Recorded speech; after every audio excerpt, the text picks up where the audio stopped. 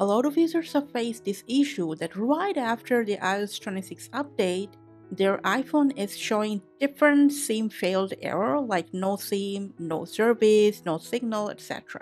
Here is how quickly you can fix it. Alright guys, so first, very basic, very handy. Just swipe down your control center and uh, turn on airplane mode, wait for around 5 to 10 seconds, and then turn it back off once again. This will quickly restart and refresh the network. If that didn't help, let's manually restart our physical SIM. Open settings. From there, go to cellular. If you can't see your physical or eSIM in here, which is acting up, just enter its settings and simply turn off the line. Don't worry, just after 15 to 20 seconds, simply turn it back on and see now your SIM is recognized on your iPhone. If that didn't help you, you know, sometimes this happens for minor software glitch and in that case, let's force restart your iPhone. Quickly press and release the volume up and down button and press and hold the side or power button until the screen shows Apple logo.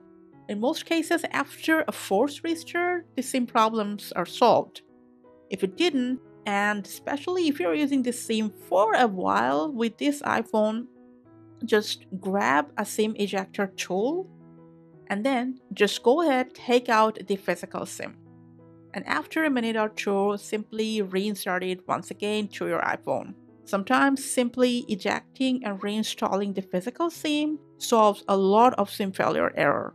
Now, just in case you've tried a lot of settings and uh, none of this helped for you, lastly, we're gonna go for a reset network settings. So open up settings, from there to general, scroll down to transfer a reset iPhone, tap on reset, and from here, what you're gonna do is just reset network settings, just make sure you got your Wi-Fi password because this will remove it.